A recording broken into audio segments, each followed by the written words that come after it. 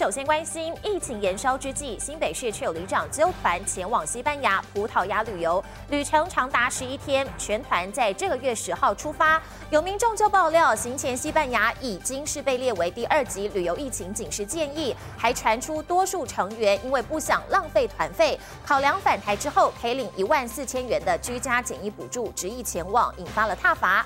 准备提前结束行程返国的里长澄清，疫情一变严重就立刻更改行程回台，也不知道可以领一点四万补贴的说法是从哪里来的。对于引发轩然大波，他感到很抱歉。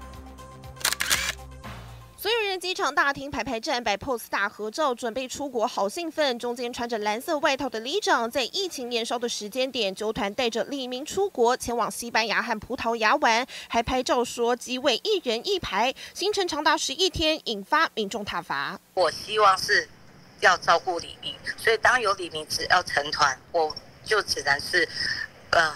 带领他们，然后照顾他们。李长澄清，出发时疫情还不严重，但时候当天西班牙已经被列为二级警示。第一天抵达巴塞隆纳市区，十二号前往葡萄牙，原本还要飞马德里，但疫情升温，预计二十一号回台的他们，马上决定十三号提前返台。十四号就请旅行社订购回台机票，十五号却碰上返台班机遭取消，只好重新安排转机，预计在十七号下午抵达台湾。但这时指挥中心已经宣布，西班牙是三。及警告国家。第三天，我就告诉我的李明，我不管他们同不同意，我们就更改了行程。就怕团员家人担心，里长赶快传来讯息，说欧洲疫情扩散，完全超乎预期，正准备返台，安抚大家情绪。却一度传出里长告知李明，出国返台后还能领一万四千元的居家检疫补助，大家才执意出发。